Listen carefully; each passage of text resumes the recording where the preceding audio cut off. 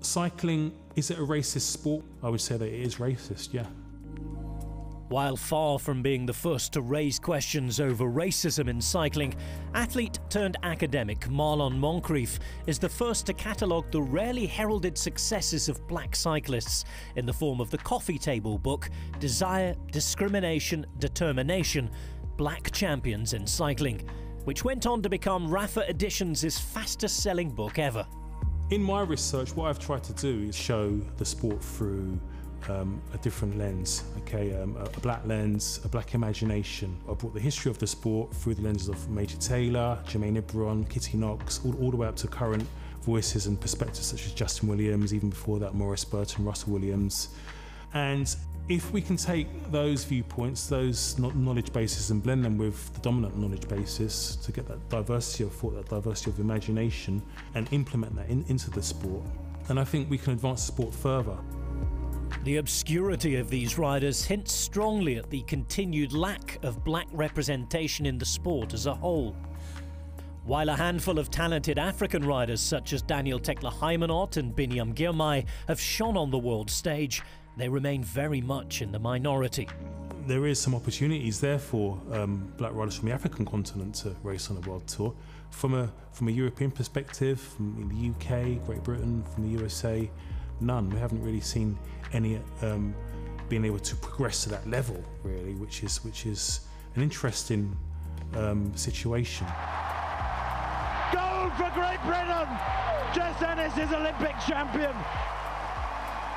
I do contrast the success of Great Britain athletics over the years in, in, in, comparison to cycling, where we've had quite, you know, there's been quite a lot of representation in, in athletics over the years, at the Olympics, the World Championships of black British people, whilst in cycling we haven't seen anybody.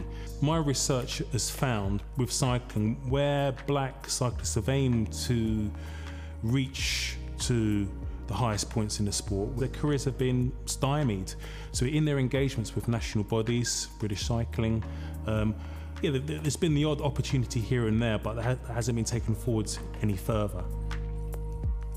There was something that came up on Twitter that said that cycling must remain traditional to its roots of European countries, you know, and all other countries that, that, that, that are making suggestions for change should not make any suggestions. We want to maintain our tr- traditional roots. Well, that particular perspective, I'm sure, it's ingrained into um, cycling, especially from the, from, from the European angle. The lack of black involvement in professional cycling has translated into a lack of visible support for the Black Lives Matter movement, in stark contrast to other sports. Though one young rider did choose to take a stand, or rather, a knee. I personally think that the gesture there was some there was some there was something genuine in that gesture, but there was a lot of naivety in it as well. And he made he made the, he made the suggestion about um, bringing a black cyclist into the sport to aim to increase diversity. But what's happened with that? Nothing. If cycling really wants to engage with different cultures, they want to promote the Tour de France in Africa, they want to promote the Tour de France in the Caribbean, then it needs to engage with those cultures as well to see what those cultures can bring to the sport, not dismiss them. But that kind of engagement appears to be on the horizon in the shape of the 2025 UCI Road World Championships in Rwanda, the first time the rainbow bands will have been awarded on the African continent. On the surface level, it must be a good thing, you know. What concerns me a little bit is that will that event be crowning white champions in a black country? How would that look? Hopefully not. Hopefully there'll be a mixture of champions.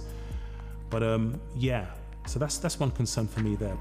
For that mix to occur, the ethnic makeup of the pro peloton needs to undergo massive change, though that might only require the opening of a single checkbook.